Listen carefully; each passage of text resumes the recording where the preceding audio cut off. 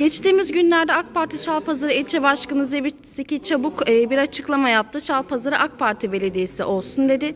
E, AK Parti sizin ittifak ortağınız. Bu açıklamayı nasıl değerlendiriyorsunuz? Öncelikle e, ben mevcut belediye başkanı olarak e, 2014'te Milliyetçi Hareket Partisi'ne seçildim. 2019'da da Cumhur İttifakı'ndan seçilerek ikinci dönem olarak görevimi yaptım. Bana bu görevi veren öncelikle liderim Devlet Bahçeli'ye, e, Cumhurbaşkanım Sayın e, Recep Tayyip Erdoğan'a çok teşekkür ediyorum. Şu anda iki parti arasında bir ittifak görüşmesi yürüyor. E, liderlerimizin, ittifakı yürüten e, kıymetli büyüklerimizin alacağı her türlü karara ben mevcut belediye başkanı olarak saygılıyım. AK Parti'de kal, e, kalsın derlerse AK Parti'nin arkasında çıkar. E, can sipariyen çalışırım. Seçimi almak için aday kimse Milliyetçi Hareket Partisi'ne bıraksın der, derlerse aday Refik Kurukuz değil derlerse yine aynı çalışırım. Adayımız Refik Kurukuz derlerse Milliyetçi Hareket Partisi'ne kal derlerse onda da elimden geleni daha önce yaptığım yine yaparım. Hizmet yolunda inandığım uğurda hizmet etmeye devam ederim. Peki AK Parti'den emrinde- aday olur musunuz? Büyüklerimin emrinde e, liderimin baktığı yere bakar, bastığı yere basar, o yol- yolda yürürüm.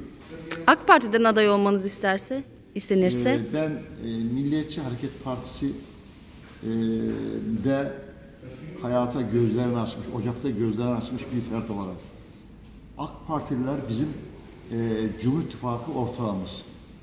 Ben liderimin, liderim Devlet Bahçeli'nin emri dışında hiçbir hareketi içinde olmam, e, hiçbir düşüncenin içinde olmam. O ne derse onu yaparım. Peki e, aynı zamanda MHP İl Başkanı Ömer Ayır'ın da bir çıkışı vardı ve Beşikdüzü ve Yomra ilçelerini istedi. E, hani biz bu belediyeleri de talibiz dedi. E, bunu nasıl değerlendiriyorsunuz? Yani bu açıklamada Şalpazarı'nın çarşıbaşının dillendirilmemesini, işte ayrıca Beşikdüzü ve Yomra ilçelerinin talep edilmesini. Yani sizce toplamda dört belediye mi istiyor MHP İl Başkanı? E, yoksa hani bir kan değişiminin iyi olacağına inancını mı taşıyor? Şimdi e, liderimiz, e, bilgi liderimiz Sayın Devlet Bahçeli'nin bir açıklaması vardı ittifaklarla ilgili e, ve e, yerel seçimle ilgili. E, aldığımız tüm belediyeleri koruyacağız. Üzerine daha fazlasını katacak bir çalışma içerisinde olacağız diye başlayan bir görüşmenin ardından, konuşmanın ardından e, iki parti arasındaki ittifak görüşmeleri şu anda yürüyor. Bununla ilgili e, Trabzon'da daha önceki 2019 seçimlerinde bırakılan iki yer vardı, onu aldık.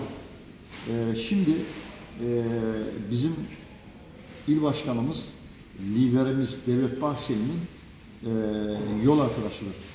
Trabzon'daki e, bizim büyüğümüzdür, biz onun emrindeyiz. E, bir şeyleri talep etmek tabii ki doğal hakkıdır, hakkıdır. Onu söz, sözün üzerine ben söz söyleyemem. Ama kaybedilmiş iki ilçeyi istemesi e, doğaldır. Ama e, verilip verilmemesi liderlerin ittifak içindeki e, görüşme ekiplerin alacağı kararlara bağlı olacak şekilde diye de not tutmuştur oraya Ömer Ayar Başkanımız. Yani biz talep ediyoruz ancak Cumhur İttifakı'nın ruhuna bağlı kalacak şekilde alınacak sonuca da e, saygı göstereceğimizi söylüyoruz demiştir. Bu anlamda benim e, il başkanımızın sözünün üzerine söz söylemem doğru ve etik olmaz. Ee, peki siz Şalpazarı'nda göreve devam etmek istiyor musunuz? Yani Şalpa, Şalpazarı için şu projeyi de hayata geçirmek istiyordum. Ee, ya da gündemimde şu proje var. Ben e, yine ilçede göreve devam etmek istiyorum noktasında. E, seçmenlerinize sunacağınız bir proje var mı? Şimdi öncelikle beni e, aday gösteren liderim, e, kıymetli liderim, e, bilge liderimiz, damadımızın e, büyüğü, bizim kutup yıldızımız Sayın Devlet Bahçeli beni iki dönem aday olarak gösterdi.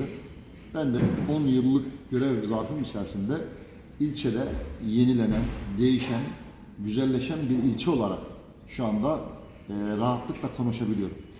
E, onlarca hizmeti hayata geçirmiş, e, açılışa hazır olan bir ilçenin belediye başkanı e, rahatlığı içerisinde konuşuyorum. E, tabii ki yapamadıklarımız var. Tabii ki ilçemiz için yeni mücadele, yeni ufuklar, e, yeni düşüncelerimiz var. Mesela köy yolları ile ilgili e, yeni dönemde yoğun çalışmalarımız olacak. İlçemizde e, orta ölçekli bir sanayi sitesini hayata geçirmenin mücadelesini vereceğiz. E, yine otopark sorunumuz var ilçemizde. Bunu çözmenin e, mutlaka çözeceğiz. E, tabii ki başka e, turizmden pay alacağız, turizme yatırım yapacağız falan. Ancak e, şunu söylüyorum, e, bir dönem daha ilçem için, e, ülkem için, ilçemin e, o güzel insanları için, kadınları, gençlerinin umutları için, e, büyüklerimiz için, yaşlarımız için şal pazarına e, yapacak daha çok işimiz var, enerjim var. Bu noktada ufkum var. E, kendime güveniyorum, ekibime güveniyorum. Çok teşekkür ediyorum açıklamalarınız için başkanım. Eklemek istediğiniz bir şey var mı? Ben teşekkür ederim.